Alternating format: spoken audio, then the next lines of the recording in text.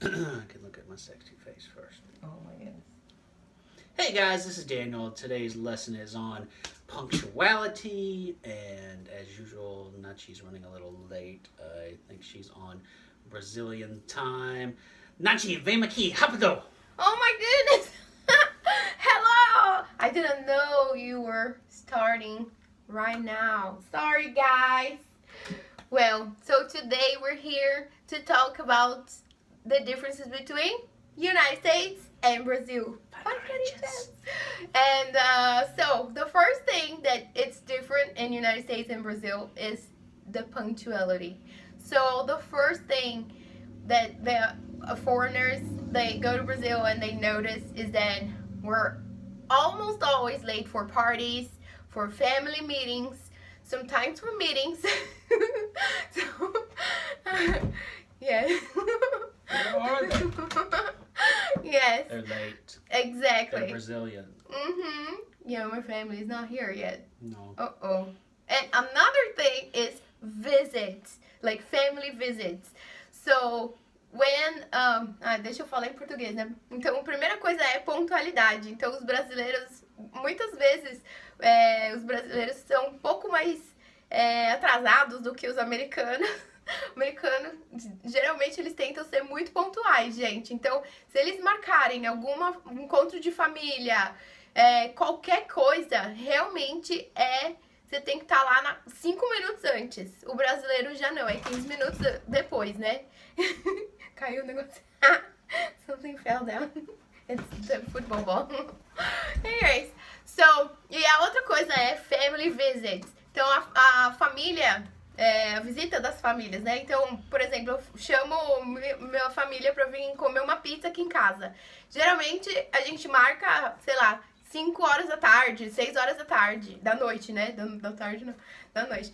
Aí a família vem 7 horas, 6 e meia, 7 horas, right? And, and Sim. the family always stay, stays later than the curfew time. Mhm. Yeah. So mm-hmm. what's the curfew? The curfew is the time that you have to leave the go and go home. Usually in the United States it's nine o'clock. You go bye bye and nine o'clock. In Brazil, if you are at a family member's house, then usually you stay until Late.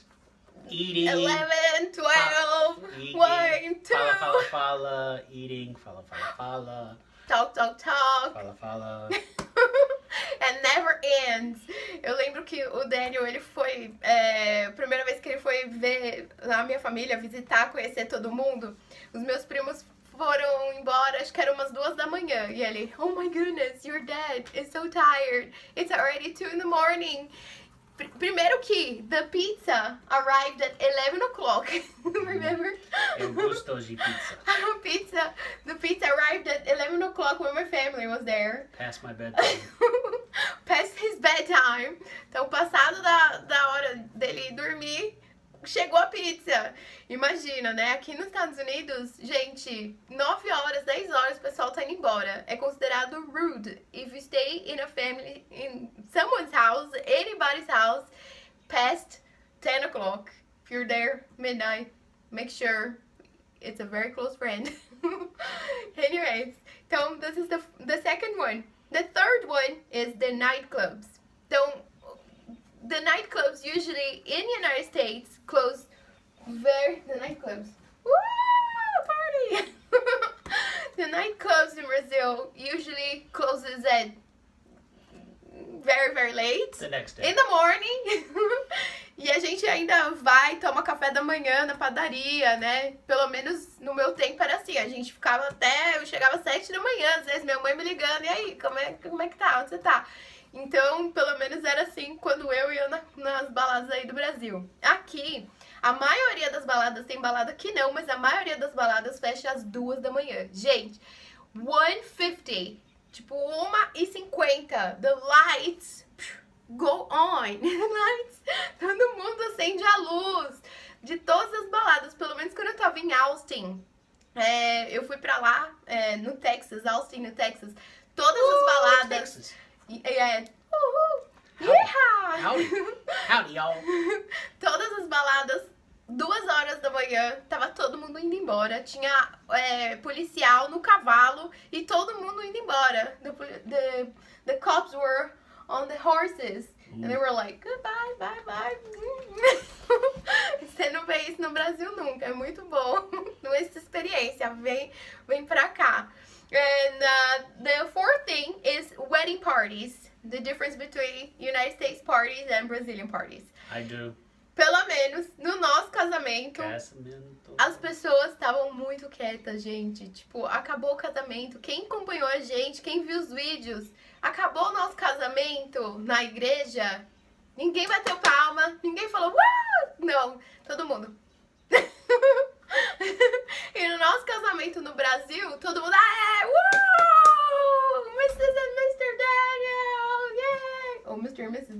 Moyet. Right. E foi muito, muito mesmo engraçado, porque eu tava esperando que todo mundo fosse bater palma. Ninguém, nobody clapped, no. Anyways, e a outra coisa que, é, pelo menos a maioria daqui dos casamentos, é, também as, as festas terminam no horário certinho, então deu 11 horas, 11 o'clock or 10 o'clock, everything goes everybody goes goes home. Nobody stays here. Okay? So that those are the differences the four differences between united states and brazil. And if you like this video click on like curte o nosso vídeo se inscreve no nosso canal subscribe in our channel and we see you next day. Next day i don't know. Next time. next time. Time. whenever we have time to record again. Love you guys. Woo!